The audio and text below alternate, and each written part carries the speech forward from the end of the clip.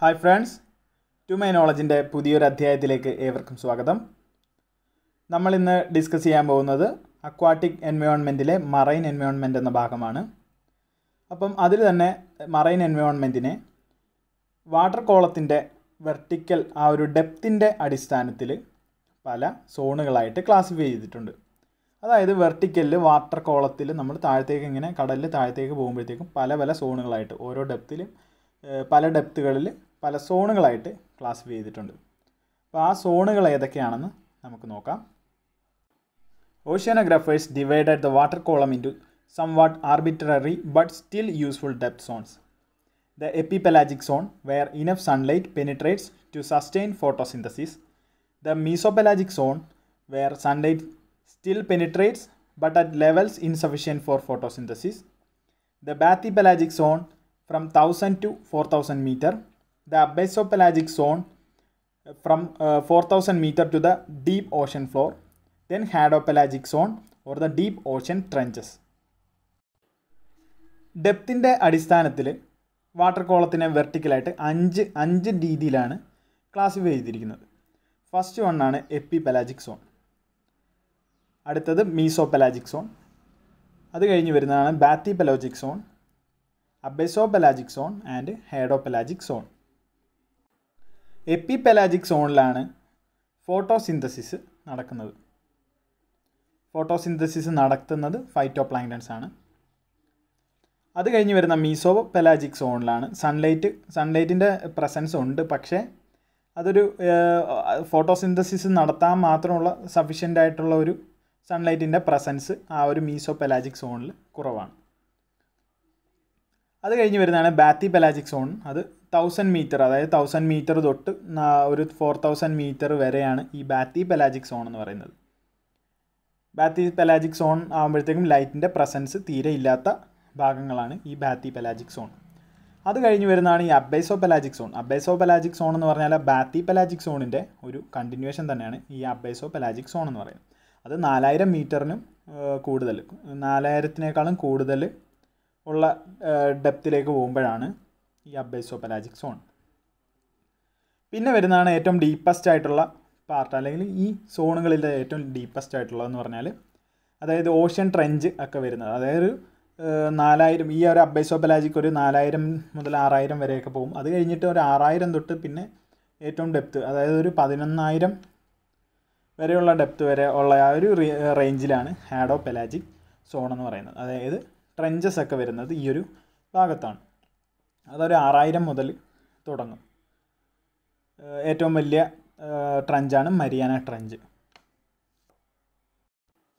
Light temperature and water pressure all change with increasing depth and creatures have adapted to conditions in a particular zone light temperature water pressure തുടങ്ങിയ physical parameters കടലിൽ നമ്മൾ vertically താഴത്തേക്ക് പോകുമ്പോഴേക്കും അതിലെല്ലാം പല തരത്തിലുള്ള variations വരും. ഇപ്പം ലൈറ്റിന്റെ കാര്യം എടുക്കുകയാണെങ്കിൽ കടലിന്റെ താഴത്തേക്ക് പോകുമ്പോൾ ലൈറ്റിന്റെ ഇന്റൻസിറ്റി കുറഞ്ഞു കുറഞ്ഞാണ് വരുന്നത്. ടു ഹൺഡ്രഡ് മീറ്റർ കഴിയുമ്പോഴത്തേക്കും ആ ലൈറ്റിന്റെ ഇന്റൻസിറ്റി വലിയ രീതിയിലാണ് കുറവ് സംഭവിക്കുന്നത്. അത് ടെമ്പറേച്ചറും താഴത്തേക്ക് പോകുമ്പോൾ ടെമ്പറേച്ചർ കുറഞ്ഞു കുറഞ്ഞു വരും. പക്ഷേ പ്രഷറും ഡെൻസിറ്റിയും താഴത്തേക്ക് പോകുമ്പം നല്ല രീതിയിൽ കൂടുന്നുണ്ട്. Assistant director of fisheries zonal ആ ഒരു ക്വസ്റ്റ്യൻ പേപ്പർ നമ്മൾ ഡിസ്കസ് ചെയ്തിരുന്നു. അത് ഡിസ്കസ് ചെയ്ത സമയത്ത് ആ ഒരു ഇത് റിലേറ്റഡ് ആയിട്ടുള്ളൊരു ക്വസ്റ്റ്യൻ വന്നപ്പോൾ നമ്മൾ അതിന്റെ ആ ഒരു പ്രൊഫൈൽ അതായത് ഫിസിക്കൽ പാരാമീറ്റേഴ്സിൽ അതായത് ഡിസോൾവ്ഡ് ഓക്സിജൻ ടെമ്പറേച്ചർ പ്രഷർ ഇതിന്റെയൊക്കെ ഒരു ഗ്രാഫുകളും തെർമോക്ലൈൻ റീജിയൻ പിക്നോക്ലൈൻ അതെല്ലാം നമ്മൾ അതിൽ വ്യക്തമായിട്ട് ഡിസ്കസ് ചെയ്തതാണ്. ഈ ഫിസിക്കൽ പാരാമീറ്റേഴ്സിന്റെ കാര്യത്തിൽ മാത്രമല്ല ആ ഒരു ഈ പല പല സോണുകളിലേക്ക് മാറി മാറി പോകുമ്പോൾ ചേഞ്ച് സംഭവിക്കുന്നത്. ആ ഓരോ സോണിലുമുള്ള ഓർഗാനിസങ്ങൾക്കും അതിന്റെ അഡാപ്റ്റേഷനുകളിലും വ്യത്യാസം വരുന്നുണ്ട്. നല്ല രീതിയിൽ തന്നെ വ്യത്യാസം വരുന്നുണ്ട്. First one the epipelagic zone also called the euphotic or sunlight zone the epipelagic zone is the upper region of the water column at a notional depth of 0 to 200 metre in which sunlight penetrates is sufficient to sustain photosynthesis.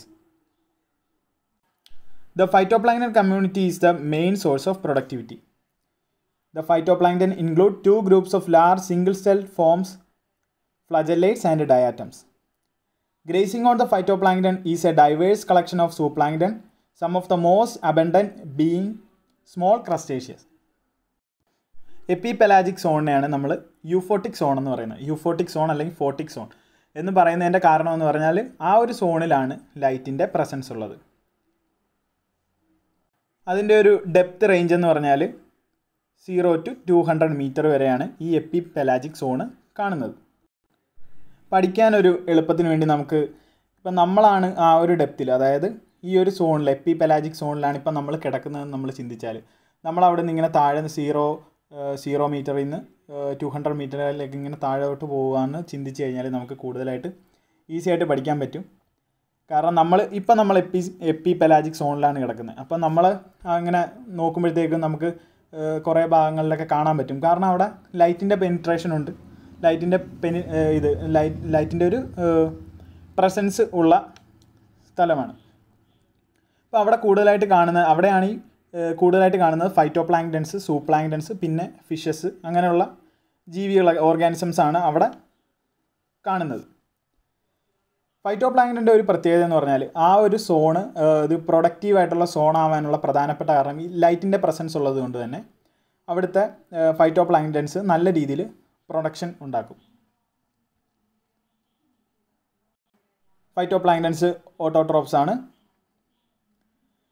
അതുപോലെ തന്നെ ഈ ഫൈറ്റോപ്ലാങ്ക്ടൻസ് എന്ന് പറഞ്ഞാൽ single celled forms ആണ്. ഫ്ലജല്ലേറ്റ്സും ഉണ്ട് ഡയാറ്റംസും ഉണ്ട്.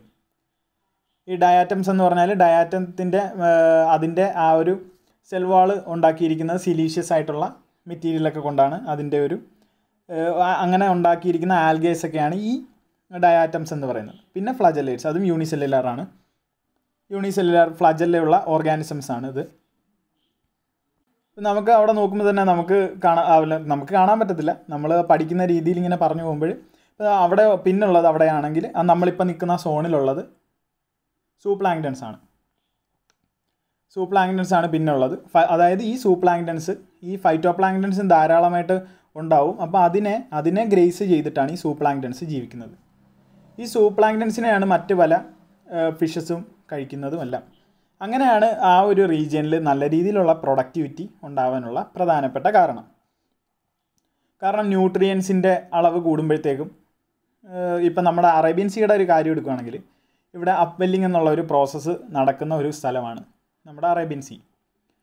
അപ്പോൾ അവിടെ അപ്വെല്ലിംഗ് എന്ന് പറഞ്ഞു കഴിഞ്ഞാൽ അടിയിലത്തുള്ള വെള്ള അടിയിലത്തെ ന്യൂട്രിയൻ റിച്ച് വാട്ടർ മേളിലേക്ക് വരും. അതായത് മൺസൂൺ സൗത്ത് വെസ്റ്റ് മൺസൂണിന്റെ സമയത്ത് നമ്മുടെ ലാൻഡിന് പാരലായിട്ട് വിൻഡ് അടിക്കുമ്പോഴത്തേക്കും ആ ഏരിയയിലുള്ള ആ സർഫസ് വാട്ടർ ഡിസ്പ്ലേസ് ചെയ്ത് പോവുകയും സർഫസ് വാട്ടർ മൂവ് ചെയ്യും മാറിപ്പോകുമ്പോഴത്തേക്കും അടിയിലുള്ള ന്യൂട്രിയൻ റിച്ച് വാട്ടർ അതിനെ ഡിസ്പ്ലേസ് ചെയ്ത് മേളിലേക്ക് കയറി വരും. അങ്ങനെ ന്യൂട്രിയൻ റിച്ച് ആയിട്ട് വരുമ്പോഴത്തേക്കും അവിടുത്തെ ഫൈറ്റോ പ്ലാങ്ക്ടന്റെ പ്രൊഡക്ടിവിറ്റി നല്ല രീതിയിൽ കൂടും. പിന്നെ അതിനെ ഗ്രേസ് ചെയ്ത് വരാനായിട്ട് സൂ പ്ലാങ്ക്ടൻസ് വരും അങ്ങനെ വരുമ്പോഴത്തേക്കും അതിനെ കഴിക്കാനായിട്ട് കൂടുതലായിട്ടുള്ള ഫിഷസ് വരും. അങ്ങനെ അവിടുത്തെ ഒരു ഫിഷറീസ് പൊട്ടൻഷ്യൽ വലിയ രീതിയിൽ ഇൻക്രീസ് ചെയ്യും. നമ്മുടെ അറേബ്യൻ സീയിൽ അങ്ങനെയാണ് ഫിഷറീസ് പൊട്ടൻഷ്യൽ വലിയ രീതിയിൽ കൂടാനുള്ള പ്രധാനപ്പെട്ട കാരണം ഈ അപ്വെല്ലിംഗ് എന്ന് പറയുന്ന ഒരു ഫിനോമിനനാണ് അപ്പോൾ അത് വരുമ്പോഴത്തേക്കും കൂടുതലായിട്ട് വരുന്ന കാര്യങ്ങളാണ് ഈ ഡയാറ്റം ഡയാറ്റങ്ങളുടെ ബ്ലൂം വരും. അങ്ങനെ അങ്ങനെ പല പല ഫിനോമിനൻസും വരും. ഈ സൂപ്ലാങ്ക്ടൺ എന്ന് പറഞ്ഞാൽ ക്രസ്റ്റേഷ്യൻ ലാർവൈസും പിന്നെ ഫിഷ് ലാർവ അങ്ങനെ പല ഇതിന്റെയും ലാർവകളാണ് പിന്നെ ചിലത് സാജിറ്റ പോലത്തെ സൂപ്ലാങ്ക്ടൺസ് എന്നൊക്കെ പറഞ്ഞാൽ സാജിറ്റ എന്നൊക്കെ പറയുന്ന സൂപ്ലാങ്ക്ടണുകളാണ് അതിന് ചിലതിന് ലാർവൽ സ്റ്റേജ് ഇല്ലാത്തതും ഉണ്ട്. Zooplankton are the free swimming larvae of uh, shore living or bottom dwelling animals such as crabs, starfish and polychaete worms. ഇപ്പോൾ ക്രാബിന്റെയൊക്കെ ലാർവ എന്ന് പറഞ്ഞാൽ മെഗാലോപ്പ പിന്നെ പോളിക്കീറ്റിന്റെ ലാർവ എന്ന് പറഞ്ഞാൽ ട്രോക്കോഫോർ ലാർവ എന്നൊക്കെ പറയും. പിന്നെ ഫില്ലോസോമ ലോബ്സ്റ്ററിന്റെ ലാർവയാണ് ഫില്ലോസോമ ഇത് ഇപ്പം പോളിക്കീറ്റ് എന്ന് പറഞ്ഞാൽ നമുക്ക് അധികം അത്ര അറിയാത്ത ഒരു കാര്യമാണ്. പോളിക്കീറ്റ് വേംസ് എന്ന് പറഞ്ഞാൽ നമ്മുടെ ലാൻഡിലുള്ള പോലെ അതായത് ഭൂമിയിലുള്ള പോലെ തന്നെ നമ്മുടെ ഈ മണ്ണിലുള്ള പോലെ ഭൂമിയിലല്ല മണ്ണിലുള്ളതുപോലെ മണ്ണിൽ എർത്ത് വേംസ് അതായത് മണ്ണിരകളുള്ള പോലെ തന്നെ കടലിന്റെ സീബെഡിലും ഉണ്ടാകുന്ന വേംസ് പോലത്തുള്ള അനലിറ്റ്സ് ആയിട്ടുള്ള ഓർഗാനിസംസാണ് ഈ പോളിക്കീറ്റ് വേംസ് എന്ന് പറയുന്നത്.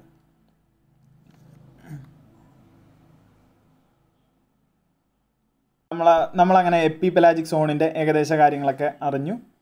ഇനി നമ്മൾ പോകുന്നത് mesopelagic സോണിലേക്കാണ് the mesopelagic zone at a notional depth of two hundred to thousand metre is sometimes called the twilight zone it begins where diffuse sunlight still penetrates but is insufficient to sustain photosynthesis in clear tropical waters reaches about thousand metre depth the light in the mesopelagic zone is predominantly of wavelengths in blue or blue green range ഇരുന്നൂറ് metre വരെയുള്ള epipelagic zone കഴിഞ്ഞിട്ട് നമ്മൾ അടുത്തത് ഇരുന്നൂറ് തൊട്ട് ആയിരം metre വരെയുള്ള meso pelagic സോണിലൂടെയാണ് താഴത്തേക്ക് പോകുന്നത്. അപ്പോൾ അങ്ങനെ വരുമ്പോഴത്തേക്കും അതിന്റെ ഈ ഒരു സോണിന് വേറൊരു പേരും കൊണ്ടുണ്ട് ട്വലൈറ്റ് സോൺ എന്നും കൂടാണ് ഇനി പറയുന്നത്. ഇവിടുത്തെ ഇവിടെ സൺലൈറ്റിന്റെ പ്രസൻസ് സൺലൈറ്റ് ഉണ്ടെങ്കിൽ കൂടി അതായത് സൺലൈറ്റിന്റെ പ്രസൻസ് ഉണ്ടെങ്കിൽ കൂടി ഫോട്ടോസിന്തസിസ് നടത്താൻ വേണ്ടി സഫിഷ്യന്റ് ആയിട്ടുള്ള രീതിയിൽ സൺലൈറ്റിന്റെ പ്രസൻസ് ഇല്ല. നമ്മുടെ ഒരു കണ്ടീഷൻ എന്ന് പറഞ്ഞാൽ നമ്മൾ ട്രോപ്പിക്കൽ കണ്ടീഷനുള്ളവരാണ് നമ്മുടെ ട്രോപ്പിക്കൽ വാട്ടേഴ്സിൽ ട്രോപ്പിക്കൽ വാട്ടേഴ്സിൽ എന്ന് പറഞ്ഞാൽ ഏകദേശം ഒരു ആയിരം മീറ്റർ ഡെപ്ത് വരെ ക്ലിയർ ആയിട്ടുള്ള ഒരു സൺലൈറ്റിന്റെ പെനിട്രേഷൻ കിട്ടുന്ന ഒരു റീജിയനാണ് നമ്മുടെ എന്ന് പറഞ്ഞാൽ. അതായത് ഈ ട്രോപ്പിക്കൽ റീജിയൻ എന്ന് പറയുന്നത്. ഈ മീസോപെലാജിക് സോണിൽ സാധാരണ കൂടുതലായിട്ട് കണ്ടുവരുന്ന വേവ് ലെങ്തിലുള്ള റേഡിയേഷൻസ് എന്ന് പറഞ്ഞാൽ ബ്ലൂവും ബ്ലൂ ഗ്രീൻ റേഞ്ചിലുള്ള ലൈറ്റ് റേഡിയേഷൻസ് ആണ് വരുന്നത്. അപ്പോൾ നമ്മൾ ആ ഒരു റേഞ്ചിൽ കിടക്കുമ്പോൾ നമുക്ക് സാധാരണ ചുറ്റും നോക്കുമ്പോൾ കാണാൻ പറ്റുന്ന ഒരു റേഞ്ച് എന്ന് പറഞ്ഞാൽ ബ്ലൂ കളറും ഗ്രീൻ ബ്ലൂ ഗ്രീൻ റേഞ്ചിലുള്ള ഇതാണ് നമുക്ക് ആ ഏരിയയിൽ കാണാൻ പറ്റുക. കാണാൻ പറ്റുക എന്ന് പറഞ്ഞാൽ നമ്മൾ ആ ഒരു സെൻസിൽ നമ്മളിങ്ങനെ ഓരോ റേഞ്ച് മനസ്സിലാക്കി താഴത്തേക്ക് പോകുന്ന രീതിയിൽ പറഞ്ഞതാണ്. Many of the creatures that remain in the lower part of the zone are red or black many zooplankton and fish that lives in the mesopelagic zone make daily vertical migrations. moving upward to epipelagic zone at night to feed on phytoplankton. Many inhabitants of this zone, however, are carnivorous or detritus, uh, detritus feeders. നമ്മളിപ്പോൾ നിൽക്കുന്നത് മീസോപെലാജിക് സോണിലാണ് മീസോപെലാജിക് സോണിന്റെ പ്രത്യേകത എന്ന് പറഞ്ഞാൽ ഇവിടുത്തെ ആ ഒരു മീസോപെലാജിക് zone എന്ന് പറഞ്ഞാൽ two hundred to thousand metre വരെയാണ്.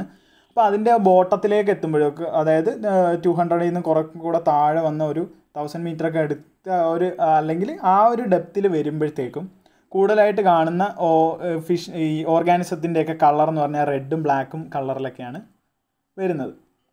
ഇപ്പം ഡീപ് സീ പ്രോൺസിനൊക്കെ നല്ല ചുമന്ന കളറിലെ പ്രോൺസ് ഒക്കെയാണ്. ഡീപ് സീ പ്രോൺസ് എന്നൊക്കെ പറഞ്ഞാൽ പിന്നെ ആ ഒരു സോണിലുള്ള അതായത് ആ സോണിലും സൂപ്ലാങ്ക്ടൺ ഒക്കെ ഉണ്ട്. അപ്പോൾ ആ സോണിലുള്ള സൂപ്ലാങ്ക്ടണും ചില ഫിഷസും ഒക്കെ വെർട്ടിക്കൽ മൈഗ്രേഷൻ നടത്തും. അതായത് വെർട്ടിക്കലി മൈഗ്രേറ്റ് ചെയ്ത് മേളിലേക്ക് വരും. അതായത് നമ്മുടെ മീസോ പെലാജിക് സോണിൽ നിന്ന് എപ്പി പെലാജിക് സോണിലേക്ക് വരും. ഇപ്പം നമ്മൾ നമ്മളിങ്ങനെ കണ്ടുകൊണ്ടിരിക്കുക എന്ന് വിചാരിക്കുക അപ്പോൾ നമ്മുടെ സൈഡിൽ കിടക്കുന്ന അതായത് നമ്മുടെ കൂടെ ആ മീസോ പെലാജിക് സോണിൽ കിടക്കുന്ന ഫിഷ് കുറേ എണ്ണം രാത്രിയായപ്പോൾ മേളിലേക്ക് പോകുന്നു. പിന്നെ താഴത്തേക്ക് വരുന്നത്. അത് അതാണ് അങ്ങനെ പോയിട്ട് അവിടെ പോയി ഫുഡ് കഴിച്ചിട്ട് അതായത് അവിടെ കൂടുതലായിട്ട് പ്രൊഡക്റ്റീവ് ഉള്ള ഏരിയ ആയതുകൊണ്ട് അവിടെ കൂടുതലായിട്ടുള്ള ഓർഗാനിസംസ് ഉണ്ട്. അതുകൊണ്ട് തന്നെ പോയി കഴിച്ചിട്ട് താഴത്തേക്ക് വരുന്നു. പിന്നെ മറ്റു പല ഓർഗാനിസവും ഇപ്പം നമ്മൾ തന്നെ നോക്കും നമുക്ക് നേരിട്ട് കണ്ട് മനസ്സിലാക്കുവാണല്ലോ. അപ്പോൾ അവിടെ ഡെട്രിറ്റസ് ആയിട്ടുള്ള അതായത് ഇങ്ങനെ ചീഞ്ഞ് ഡെഡ് ബോഡീസും അങ്ങനത്തെ അതിന്റെ ഫീക്കൽ മാറ്ററും ഒക്കെ താഴത്തേക്ക് ഇങ്ങനെ അടിഞ്ഞു വീഴുന്നുണ്ട്. അപ്പോൾ അതിനെ ഫീഡ് ചെയ്തിട്ട് ജീവിക്കുന്ന ഓർഗാനിസംസ് ഉണ്ട്. കാരണം അവിടെ ജീവിക്കുന്ന കൂടുതലും ഫിഷിന്റെയൊക്കെ ഒരു അഡാപ്റ്റേഷൻ എന്നൊക്കെ പറഞ്ഞാൽ അതിന് ഭയങ്കര വൊറേഷ്യസ് ആയിട്ടൊന്നും പോയി ഫീഡ് ചെയ്യാനോ അങ്ങനെ അങ്ങനെയൊന്നും രീതിയിലൊന്നും അതിന് പറ്റുന്നതല്ല. കാരണം ഡെപ്ത് കൂടുന്തോറും പ്രഷറും എല്ലാം കൂടു കൂടുകയാണ്. അപ്പോൾ തന്നെ നമ്മൾ അവിടെ മൂവ്മെന്റ് ഒക്കെ വളരെ സ്ലോ ആയിട്ടുള്ള രീതിയിലുള്ള ജീവികളൊക്കെ ആയിരിക്കും സാധാരണ അവിടെ കാണുന്നത്. Next one is the bathypelagic zone below thousand metre there is no sunlight penetration There is no sunlight penetration in the inky darkness of the bathypelagic zone at depths of 1000 to 4000 meter. The only light is that produced by the animals themselves. Bioluminescence uh, serves different functions in different species. Most bathypelagic fishes are relatively small and have puny bodies and relatively large heads, jaws and teeth. Because of the low population density at this depth, finding a mate can be problematic. നമ്മളങ്ങനെ എപ്പി പെലാജിക്കിൽ നിന്നും meso പെലാജിക്കിൽ നിന്നും താഴെ ബാത്തി pelagic സോണിലേക്ക് വന്നു. മറ്റേ സോണുകളിൽ തമ്മിൽ സംബന്ധിച്ച് നോക്കുമ്പോഴത്തേക്കും ഈ സോണിൽ ലൈറ്റിന്റെ പ്രസൻസ് ഇല്ല. നോ സൺലൈറ്റ് പെനിട്രേഷൻ അതാണ് ഇവിടുത്തെ ഒരു പ്രശ്നം. അപ്പോൾ ഭയങ്കര ഇരുട്ടുള്ള സ്ഥലമാണിത് ബാത്തി പെലാജിക് സോൺ. അപ്പോൾ അത് നമുക്ക് വലിയ പ്രശ്നമാക്കുന്നതാണ്. കാരണം ഒട്ടും വെട്ടമില്ലാത്ത സ്ഥലമാണ്. And there is no sunlight penetration in the darkness of the bathypelagic zone at depth thousand to four thousand metre ഇത് ഈ ഒരു ബാത്തി പെലാജിക് സോണ് വരുന്നതെന്ന് പറഞ്ഞാൽ ആയിരം മീറ്റർ മുതൽ നാലായിരം മീറ്റർ വരെയുള്ള സ്ഥലത്താണ്. ഇവിടെ ഇവിടെ ആകെ അപ്പം നമ്മൾ നോക്കുമ്പോൾ നമുക്ക് കാണാം ഇവിടെ ആകെ നമുക്ക് അപ്പോൾ പെട്ടെന്ന് കുറച്ച് ലൈറ്റ് എവിടുന്ന് വരുന്നു. അങ്ങനെ തോന്നുവാണെങ്കിൽ അതിന്റെ പ്രധാന കാരണമെന്ന് പറഞ്ഞാൽ അത് അവിടെ ഉള്ള ബയോലൂമിനസെൻസ് ആയിട്ടുള്ള ആനിമൽസ് അല്ലെങ്കിൽ ബയോലൂമിനസെൻസ് ആയിട്ടുള്ള ആനിമൽസ് ഉണ്ട് അവിടെ. ഓർഗാനിസംസ് ഉണ്ട് ബയോലൂമിനസൻസ്. ഈ ഓർഗാനിസം ഒക്കെ ഇങ്ങനെ ഒരു ബയോലൂമിനസെൻസ് കാണിക്കാനുള്ളൊരു കാരണം എന്ന് പറഞ്ഞാൽ ബയോലൂമിനസൻ ബാക്ടീരിയാസിന്റെ പ്രസൻസ് ആണ് ഈ ബാക്ടീരിയാസിലുള്ള ലൂസിഫറിൻ എന്ന് പറയുന്ന പ്രോട്ടീനും പിന്നെ അതിനകത്തുള്ള ആ ലൂസിഫറൈസ് എൻസൈമും തമ്മിലുള്ള ഒരു ആക്ടിവിറ്റിയുടെ ഫലമായിട്ടാണ് ഇങ്ങനെ ലൈറ്റ് എമിറ്റ് ചെയ്യുന്നത്. ബയോലൂമിനസെൻസ് പല ഓർഗാനിസത്തിലും പല രീതിയിലുള്ള ഫങ്ഷൻസ് ആണ്. ചിലത് ഇതിനെ പിടിക്കാൻ വേണ്ടി യൂസ് ചെയ്യുന്നു. ചിലത് അതിന്റെ പ്രേയിൽ നിന്നും രക്ഷപ്പെടാൻ വേണ്ടി. സോറി പ്രഡേറ്റർ പ്രഡേറ്ററിൽ നിന്ന് രക്ഷപ്പെടാൻ വേണ്ടി യൂസ് ചെയ്യുന്നു. പിന്നെ ഇപ്പം നമ്മൾ നോക്കിക്കഴിഞ്ഞാൽ നമുക്ക് മനസ്സിലാവും. അവിടെയുള്ള ഫിഷസ് ഒക്കെ എന്ന് പറഞ്ഞാൽ ഭയങ്കര സ്മോളായിട്ട് സ്മോൾ ഫിഷസ് ആണ്. പക്ഷേ അതിന്റെ വായൊക്കെ ഭയങ്കര വലിയ വായും ഒക്കെയാണ്. ഇപ്പം നമ്മൾ ആംഗ്ലർ ഫിഷിനെയൊക്കെ എടുത്തു കഴിഞ്ഞാൽ അതിനൊക്കെ ഇങ്ങനത്തെ ഒരു ക്യാരക്ടറാണ് കാണിക്കുന്നത്. അത് വലിയ ജോയും. കാരണം അവിടെ സോഴ്സ് വളരെ ലിമിറ്റഡ് സോഴ്സ് ആണുള്ളത് അപ്പോൾ അതിന് വേണ്ടിയുള്ള അഡാപ്റ്റേഷൻസ് ആണ് ഇതൊക്കെ. കാരണം അതിന് പെട്ടെന്ന് ദൂരെ ഓടിച്ചെന്ന് ഇപ്പം നമ്മുടെ നമ്മുടെ ഇപ്പം നമ്മൾ നേരത്തെ കണ്ടുവന്ന ആ എപ്പിപെലാജിക് സോണിൽ നോക്കുമ്പോഴത്തേക്കും ടൂണ ഫിഷൊക്കെ വലിയ സ്പീഡിൽ പോയി. വേറെ ചെറിയ മീനുകളെയൊക്കെ പിടിക്കുന്നു. അപ്പോൾ അതുപോലത്തെ കാര്യങ്ങളൊന്നും ഇതിന് ഒന്നും ചെയ്യാൻ പറ്റത്തില്ല. കാരണം ലിമിറ്റഡ് എനർജി സോഴ്സിൽ ജീവിക്കുന്ന അങ്ങനത്തെ ഒരു രീതിയാണ് ആ സോണിലേക്ക് ആ ഒരു ഇരുട്ടുള്ള ആ ബാത്തി പലാജിക് സോണിൽ സംഭവിക്കുന്നത്. ഈ സോണിന്റെ വേറൊരു പ്രത്യേകത എന്ന് പറഞ്ഞാൽ അതിന്റെ പോപ്പുലേഷൻ ഡെൻസിറ്റി അതായത് അതിന്റെ ന്യൂമറിക്കൽ ഡെൻസിറ്റി വളരെ കുറവായിരിക്കും. കാരണം അപ്പോൾ അങ്ങനെയുള്ള ഒരു സാഹചര്യമായിട്ടുണ്ട് അതിന്റെ എന്താ മേറ്റിംഗ് ഫൈൻ ഒരു പുതിയ മേറ്റിനെ കണ്ടെത്തുക അതൊക്കെ വളരെ ബുദ്ധിമുട്ടായിട്ടുള്ള കാര്യങ്ങളാണ്. പക്ഷേ ആ ഭാഗത്ത് ഡൈവേഴ്സിറ്റി വളരെ കൂടുതലാണ്. കാരണം നമ്മൾ കണ്ടിട്ടില്ലാത്ത രീതിയിലുള്ള ഡൈവേഴ്സ് ആയിട്ടുള്ള ഇഷ്ടംപോലെ സ്പീഷീസുകൾ ഉണ്ടാവും. പല പല. പക്ഷേ ആ അതിന്റെയൊക്കെ ഒരു നമ്പറിൽ വലിയ രീതിയിലുള്ള കുറവുണ്ട്.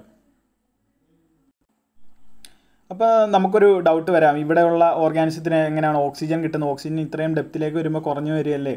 ചെയ്യുന്ന ഒരു ഡൗട്ട് വരും. കാരണം അവിടെയാണ് ഒരു തെർമോഹലൈൻ സർക്കുലേഷൻ എന്ന് പറയുന്ന ഒരു സർക്കുലേഷൻ. അതായത് അതൊരു വാട്ടർ മാസാണ് അത് ഡെൻസിറ്റി ഡിപ്പെൻഡന്റ് ആയിട്ട് വർക്ക് ചെയ്യുന്ന ഒരു വാട്ടർ മാസാണ് ഇപ്പം അന്റാർട്ടിക്കയിൽ നിന്ന് വരുവാണെങ്കിൽ തണുത്ത വെള്ളം. അതായത് ഒരു വാട്ടർ മാസ് എന്ന് പറഞ്ഞാൽ ഒരു പർട്ടിക്കുലർ പ്രോപ്പർട്ടി കാണിക്കുന്ന അതായത് അതിന് സെയിം ഫിസിക്കൽ പ്രോപ്പർട്ടീസ് ആയിരിക്കും.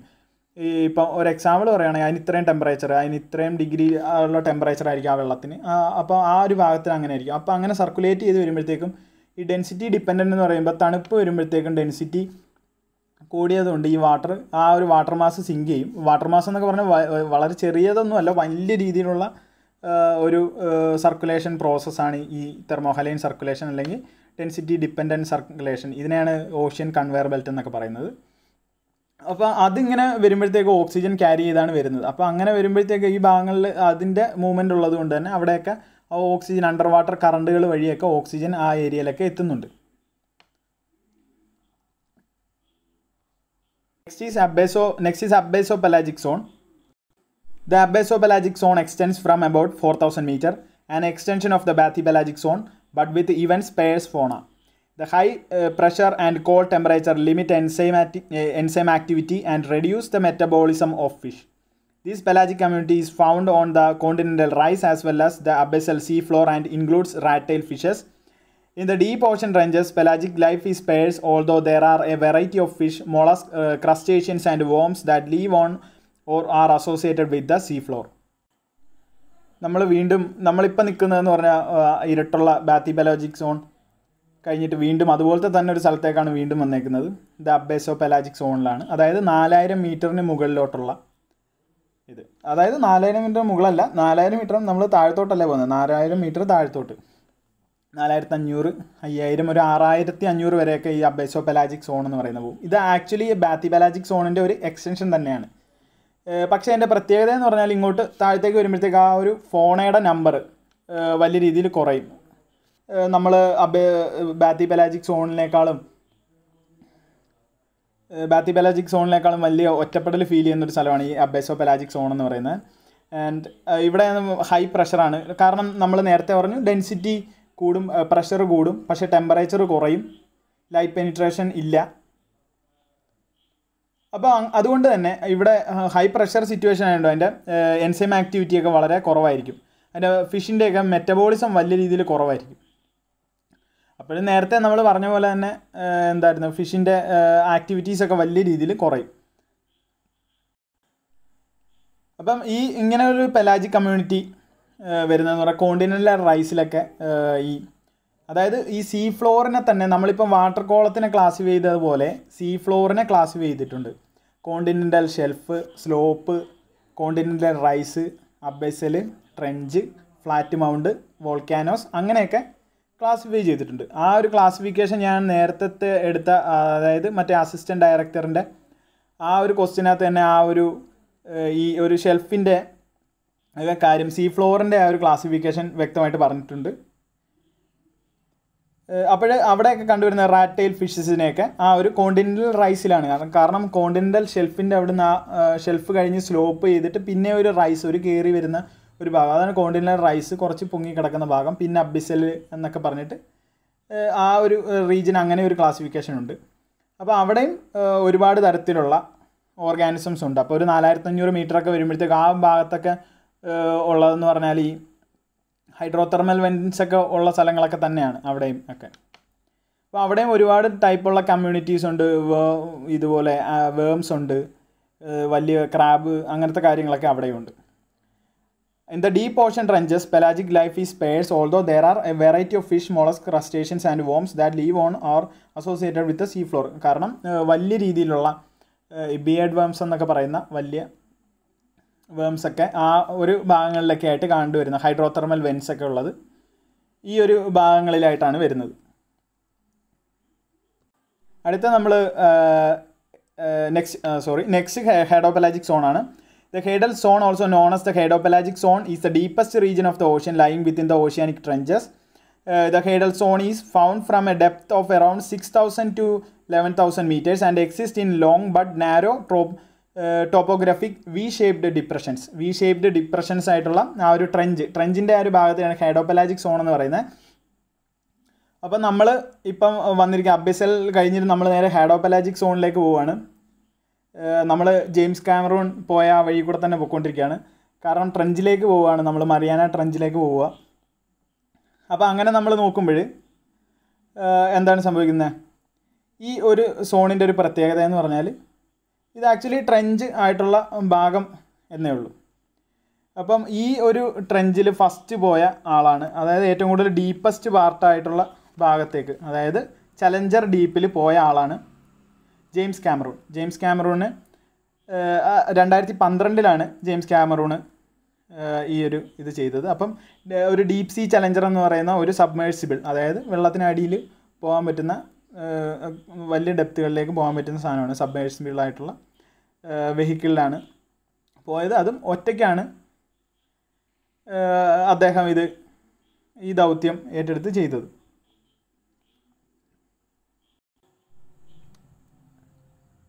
അപ്പം അത് കഴിഞ്ഞിട്ട് അപ്പം നമ്മൾ ആ സോണുകളുടെ കാര്യം എല്ലാം കഴിഞ്ഞു.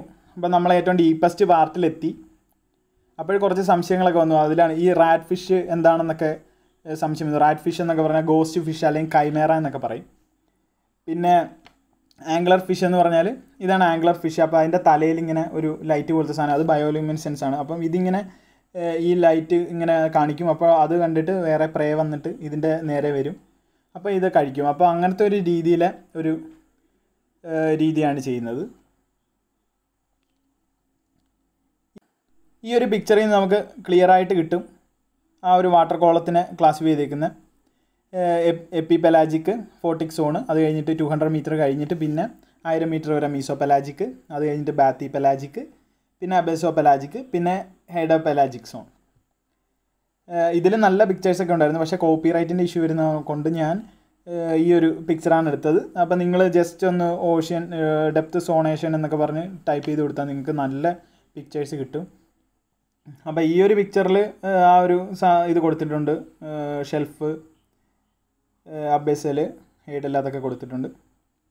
ആ ഒരു ഷെൽഫ് ഷെൽഫ് റീജിയൻ കോണ്ടിനൽ ഷെൽഫിന്റെ ആ റീജിയൻ വരെ വരുന്ന ആ ഒരു അതിന്റെ മേളിലത്തോട്ടുള്ള വാട്ടർ കോളത്തിനാണ് നിയററ്റിക് സോൺ എന്ന് പറയുന്നത്. പിന്നെ അത് കഴിഞ്ഞിട്ട് ആ ഷെൽഫ് കഴിഞ്ഞിട്ട് അങ്ങോട്ട് പോകുമ്പോഴാണ് പിന്നുള്ള ഏരിയയാണ് ഓഷ്യാനിക് എന്ന് പറയുന്നത്. നിയററ്റിക് ഓഷ്യാനിക് എന്ന് പറയുന്നത്. ഈ ഒരു പിക്ചർ ചിലപ്പം ക്ലിയറായി വരണമെന്നില്ല. ലാപ്ടോപ്പിലൊക്കെ നോക്കിയാലേ ചിലപ്പോൾ ക്ലിയർ ആയിട്ട് വരത്തുള്ളൂ. ഇത് ഞാൻ ഇൻസ്റ്റാഗ്രാമിലെ ഇൻസ്റ്റാഗ്രാമിന്റെ ലിങ്ക് കൊടുക്കാം. അപ്പോൾ നമ്മുടെ ചാനലിന്റെ ഇൻസ്റ്റാഗ്രാം പേജിൽ ഞാൻ ഈ പിക്ചർ ഇന്നിടാം അപ്പോൾ അതിൽ നിന്ന് എടുത്ത് നോക്കിയാൽ മതി. അപ്പോൾ ഇതിനകത്ത് കൊടുത്തേക്കുന്നതെന്ന് പറഞ്ഞാൽ അതിൽ മെയിൻ പോയിന്റ്സ് ആണ് കുറച്ച് വലുതായിട്ട് കൊടുത്തിട്ടുള്ളത്. ഓഷ്യാനിക് പ്രഷറിന്റെ കാര്യം താഴത്തേക്ക് പോകുമ്പം ഹൈ ആയി വരുന്നു. പിന്നെ അത് ഏറ്റവും താഴെ ഏറ്റവും താഴത്തെ ഭാഗത്ത് കിടക്കുന്നതാണ് ആ ചലഞ്ചർ ചലഞ്ചർ ഡീപ്പിൽ കിടക്കുന്ന ആ ഒരു ചലഞ്ചർ ഡീപ്പിൽ കിടക്കുന്ന ആ ചലഞ്ചർ ഡീപ്പിൽ കിടക്കുന്നതാണ് ആ ഒരു സബ്മേഴ്സിബിൾ ജെയിംസ് ക്യാമറൂൺ ഏഹ്, എത്തിയത് ആ ഒരു ഡെപ്തിലായിരുന്നു. അത് ഹെഡ് പെലാജിക് സോണിലാണ് പിന്നെ അവിടുന്ന് മേളോട്ട് പോകുമ്പോഴാണ് പിന്നെ ഈ ബന്ദിക് കോം ജെല്ലീസൊക്കെ ഒരു ഏഴായിരം മീറ്ററിലൊക്കെ ബന്ദിക് കോം ജെല്ലി ഉണ്ട് പിന്നെ ഒരു നാലായിരം നാലായിരത്തി അഞ്ഞൂറ് മീറ്ററിലൊക്കെയാണ് ആംഗ്ലർ ഫിഷിനെയൊക്കെ കണ്ടുവരുന്നത്. പിന്നെ മൂവായിരത്തി എണ്ണൂറ് മീറ്ററിലാണ് നമ്മുടെ ഇത്. ടൈറ്റാനിക് കിടക്കുന്ന സ്ഥലം എന്ന് പറഞ്ഞാൽ മൂവായിരത്തി എണ്ണൂറ് മീറ്ററിലാണ് പിന്നെ ഒരു രണ്ടായിരത്തി അഞ്ഞൂറ് മീറ്റർ അതായത് നമ്മുടെ ഒരു ബാത്തി പെലാജിക് സോണ് തന്നെ ആ ഒരു ഏരിയയിലൊക്കെയാണ് സ്പേം വെയിൽ പിന്നെ ഡ്രാഗൺ ഫിഷ് അങ്ങനത്തെ സാധനങ്ങളൊക്കെ കാണുന്നത്. പിന്നെ ഒരു ആയിരം മീറ്ററൊക്കെ വരുമ്പോൾ വൈറ്റ് ഷാർക്ക് ലെതർ ബാക്ക് ടർട്ടിലൊക്കെ ആയിരം മീറ്റർ ആ ഒരു ഇതിൽ വരും. പിന്നെ blue whale five hundred metre ആ ഒരു ഡെപ്തിലൊക്കെ കാണും. അപ്പോൾ അതാണ് ഈ ഒരു പിക്ചറിൽ കൊടുത്തേക്കുന്നത്. അപ്പോൾ ഈ പിക്ചറിന്റെ കാര്യത്തിൽ എന്തെങ്കിലും ഡൗട്ടൊക്കെ ഉണ്ടെങ്കിൽ കമന്റായിട്ട് ചോദിക്കണം. അപ്പോൾ ഇതിനു വേണ്ടിയുള്ള എടുത്ത റെഫറൻസ് ആണ്. ഇന്ന് തന്നെ അടുത്ത ക്ലാസ്സും ഇടാൻ പറ്റുമെന്നാണ് തോന്നുന്നത്. ഞാൻ എല്ലാം പ്രിപ്പയർ ചെയ്ത് വെച്ചിരിക്കുകയാണ്. അപ്പോൾ എല്ലാവരും നല്ലപോലെ പഠിക്കുക.